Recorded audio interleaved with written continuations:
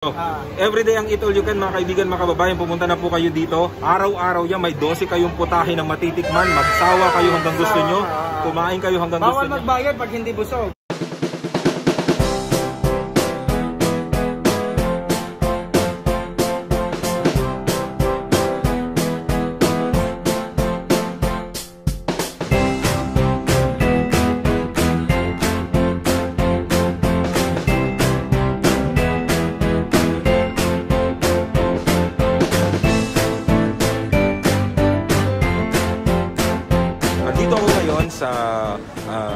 Ah, Old Soup Salmia. Pupuntahan natin ang ah, Pinoy sa Malamig. Yun. Pinoy sa Malamig located at Little ah, Manila Building. Ito po yung building na yan. So, samahan nyo ako guys dahil ah, isang restaurant na naman ang pupuntahan natin at ah, susugurin natin ang mga ah, pagkain Pinoy doon. Madali lang mapuntahan tong ano tong ah, Little Manila na to. So, pag bumaba kayo ng taxi doon sa dulo, pwedeng pwede rin naman. So, baybayin nyo lang yan hanggang dito sa hanggang dito sa loob. Kung ah, magsisimula kayo doon sa McDonald's, so nasa ano siya, left side, dulo, dulong ano, dulong left side. Okay, so guys, tara, samahan nyo kami doon sa ano, doon sa sa loob sa Pinoy sa Malamig. Let's go.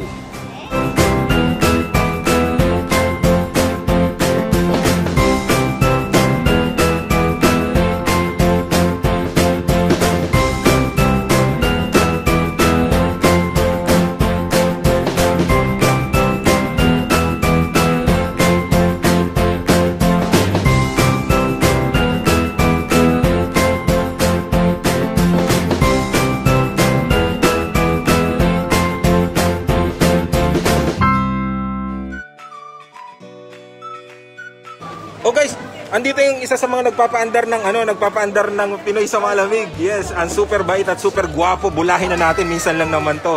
Si Sir Albert. Hello, Sir Albert. Yan, kumusta? Okay, balitaan mo muna kami.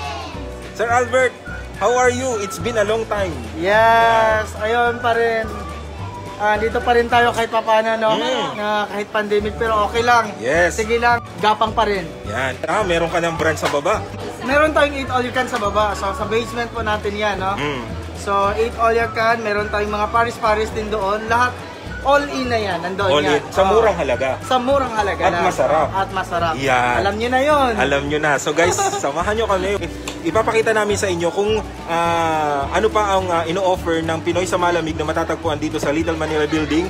Baba lang to ng Jollibee at ng Chowking. Yes po. Ah. Pero nasa pagpasok nyo sa may right side, makikita nyo kaagad. At meron silang branch din sa baba, same building din.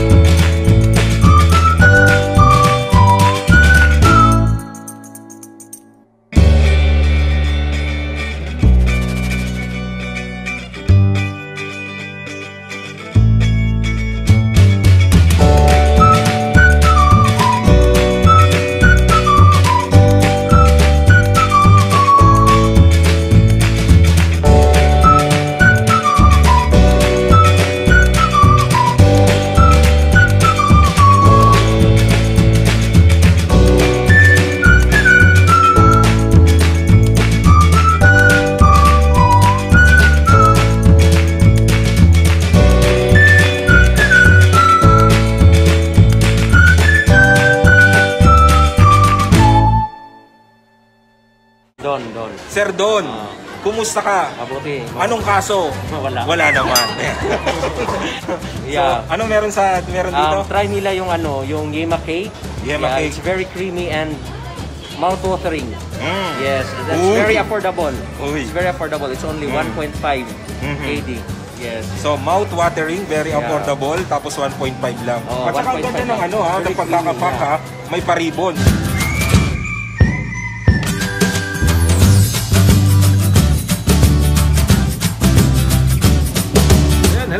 Mga kababayan. Nandito nga tayo sa Little Manila Building at pupuntahan natin ang Pinoy sa Malamig na matatagpuan dito sa Little Manila Building, Old Souk, ah, Salmia. So sa lahat ng mga kababayan natin na nakakamiss ng ah, lutong Pinoy, ng mga pagkaing Pinoy, samahan niyo ako dahil pupunta tayo doon sa baba. So let's go!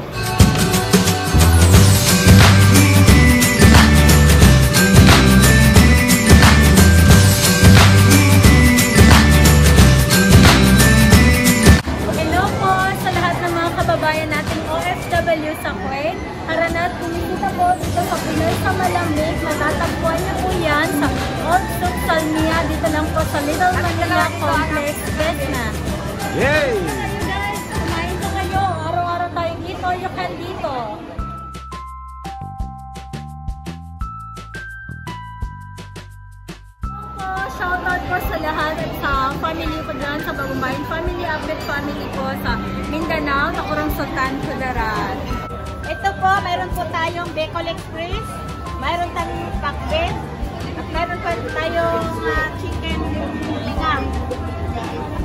mayroon po tayong Kentucky na famous na luto ng Pinoy sa malamig.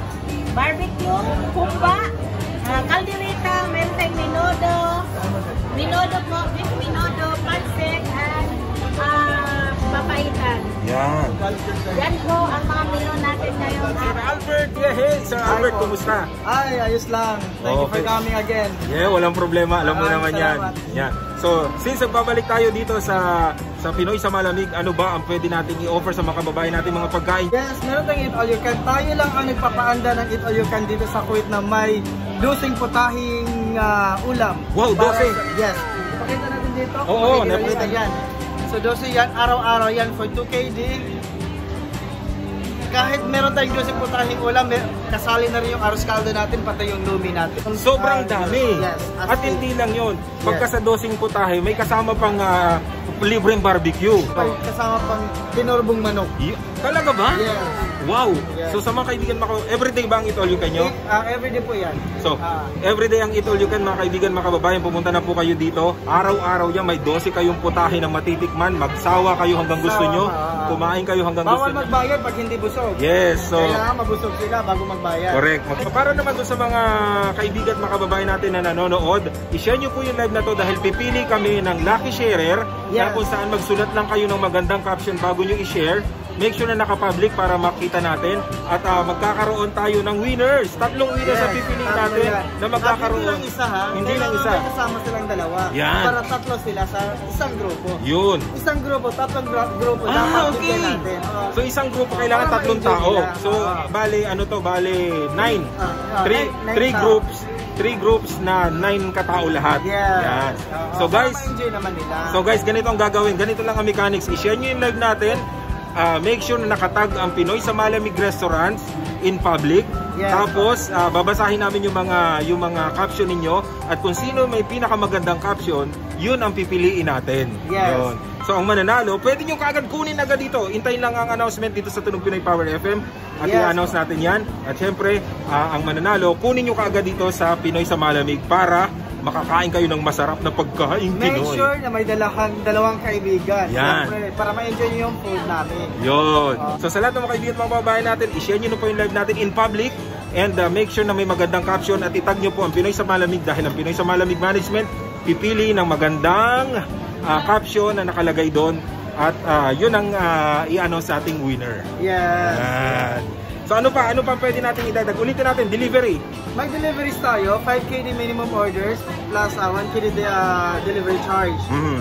Ngayon, ah, na-mention ko na ata dun sa taas na marang nagdo-launch tayo ng Paris Paris, Mhm. which is 1 KD only. Mhm. Plus, ah, meron tayong mga silog-silog everyday na may libreng arroz caldo, which is 1 dinar 500 laan. Mm. So, ayun na, tara na. Puntahan niyo na kami dito para matikman niyo na yung aming mga putahe. Yun. Ayan. So maraming maraming salamat Sir Albert. Maraming salamat At. Abangan nyo rin ang mga announcements sa Tunog Pinoy Power FM. Please make sure na nakalike at nakapollow kayo sa page ng Pinoy sa Malamig para masaya. Ayan. Salamat, Ang salamat. programang ito hinatid sa atin ng Pinoy sa Malamig. Pagkain Pinoy ba at murang pagkain Pinoy ba ang hanap mo? Wala na kayong dapat puntahan kundi dito sa Pinoy sa Malamig Restaurant matatagpuan sa Little Manila, Old Zouk, Salmia.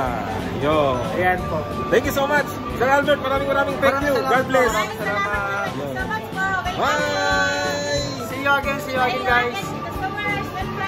Yehey! Shout out sa lahat pa ng viewers dyan, lalo na din sa mga OFW sa Kuwait. Ah, by the way, my name is Chef Tony sa Pinoy sa Malamig po. Visit po kayo, masarap yung pagkain namin dito. Authentic food talaga, quality, one of the best food here in ah, Kuwait. So, basement, Pinoy sa Malamig po, masarap. Shout shoutout po ulit sa aking mga pamilya dyan sa Mindanao. Sa Takurong sa Tankudarat po. Sa mga Bagumbayan family, Apit family po, Mandang family, Landasan family, sa lahat-lahat po, sa tatay at mama ko dyan. Thank you so much po. Thank you, DJ. Yehey! Salamat! Mananap, shout out pala sa, sa lahat ng OFW dyan. Uh, I am, by the way, my name is Chef Tony. Pinoy sa malamig guys. Masarap yung pagkain dito. Authentic food talaga. Lahat hindi kami nagluluto ng luma. Lahat bagong fresh and yummy po. And may mga budol fight tayo kung gusto nyo bumisita dito. Masarap talaga budol fight. Sulit. For 8 KD po. For 6 person. Sulit na kami. Grabe sobrang sarap po guys. Hindi kayo magsisisi. And if all you can po, 2 KD lang. Okay? Masarap maraming ah, fried chicken pa, may kasama pang barbecue, masarap po talaga. Sulit yung 2 KD nyo, hindi kayo lugi. May kasama pang lomi, arroz caldo, may kasama pang drinks na unlimited drinks na juice. Yes! And, and by the way, ah, shout out pala sa mga ex ko dyan sa Kuwait, baby. Ah, masaya na kayo, so dyan na kayo, stay put na kayo ha. Again, shout out pala sa Davao, uh, L'Oreal family and Cruz family. Uh, I miss you guys, so next year kita-kita kayo. And huwag niyong kalimutan, i-follow si DJ Shano. Wow. Uh, Tunog Pinoy Power FM, grabe, one of the best. Yes! Shoutout sa mga taga Bicol! Kaway-kaway! Yeah. Hello po. Yung Sinyana, pamilya, Lopez. Ayos! Salamat sa lahat ng mga kababayan ko sa Lapu-Lapu Mactan. Ah, nandito ako ngayon sa Pinoy sa Malamig. Dito marami tayong mga kakanin. Iba't ibang klaseng kakanin. Mura lang. 500-500 pesos lang. Abot kaya ang halaga sa Pinoy sa Malamig. Yun! Shoutout po sa aking family dyan sa 105 Tondo, Manila. Shoutout sa family, Alba family, La Fuente family, and all my friends in Tondo, Manila. Thank you so much! Take care, take care, dear. Take care, dear. always. Thank you so much. Thank you so much also sa ah, customers ng Pinoy sa Malamig. Welcome po kayo. Yehey! Salamat!